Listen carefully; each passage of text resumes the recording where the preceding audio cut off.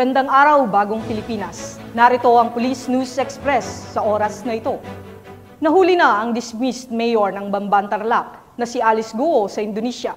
Ayon yan sa Presidential Anti-Organized Crime Commission at agad naman itong kinumpirma ni PAO Chief Gilbert Cruz.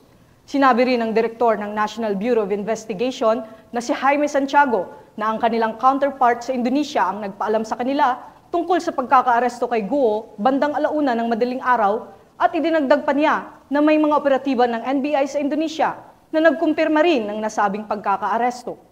Samantala, hanggang ngayon ay tinututukan ng pambansang pulisya ang pagkadetain ni Guo at patuloy na nakikipagkoordinasyon sa Indonesian Police.